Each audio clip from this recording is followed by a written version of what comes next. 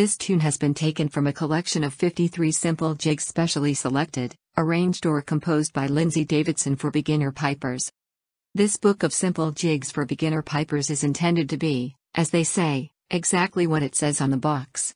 Put simply, these are tunes which can be used by people who have recently started to learn to play bagpipes. They can be used as exercises, or as simple little tunes. For those at the start of their piping adventure, these tunes can provide repertoire that is easy to learn and can bring satisfaction and confidence.